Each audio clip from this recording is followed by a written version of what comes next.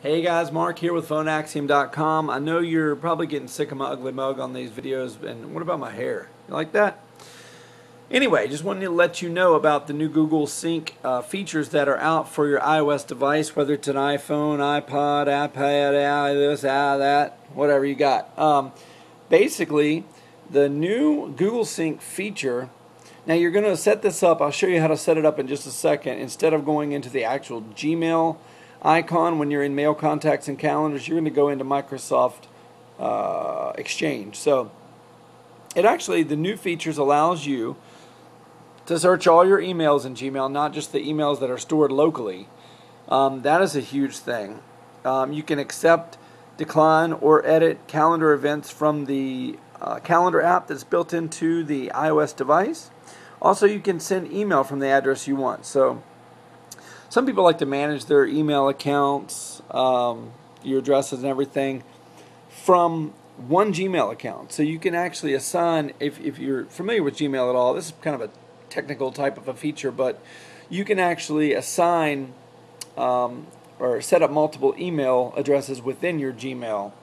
Um, so it actually gives you the ability to send mail as. So if you wanted to do that, uh, which is a very great thing uh, for a lot of people. If you have two or three email addresses, plug them all into Gmail, and you can just set up that one account on your iOS device. So, um, I guess what I'm going to do now is kind of just let you know um, how to set this up on your iOS device.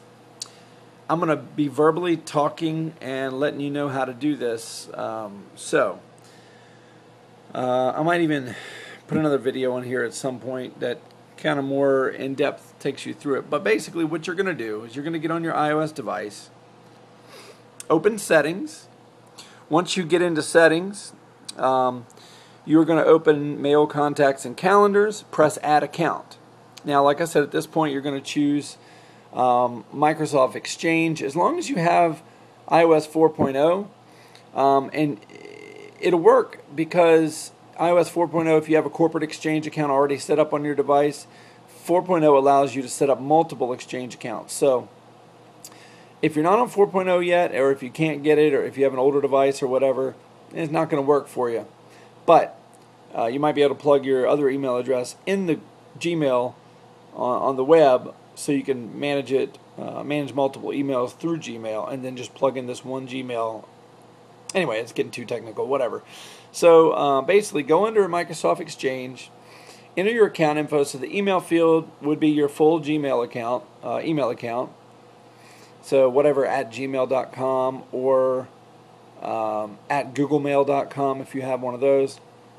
Leave the domain field blank um, and then put in your password. So if you actually require a two-step verification process, then you, you want to use the apple application specific password instead. So you tap next at the top of the screen. Um, choose cancel if the unable to verify certificate dialog does appear.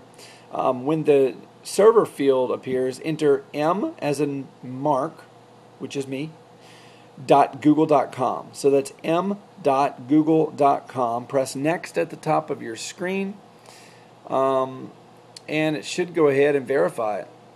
So you can select the services that you want to use with the Google Sync, whether it's mail, contacts, calendars, um, etc. So that's basically what you need, need to do to set it up. Now, that um, actually gets you push notifications of your email and everything. That gets, I don't know what's wrong with me tonight. Some, that's ridiculous. I apologize. Um, so that gets you push notifications of new mail that comes through or whatever. I'm watching America's Dumbest Criminals right now. It's kind of funny. Um, there's some of it for you. But anyway, I don't know if that was quite kosher. It's it's just funny. These people are really stupid. But anyway, um, anyway, just want to let you know about that. If you have any questions, go ahead and put a comment down there. Give me a thumbs up, subscribe. You know, rate my video as a 100% yes because you know, how else are you going to get this information in this format? Everybody loves me. Mark with PhoneAxiom.com.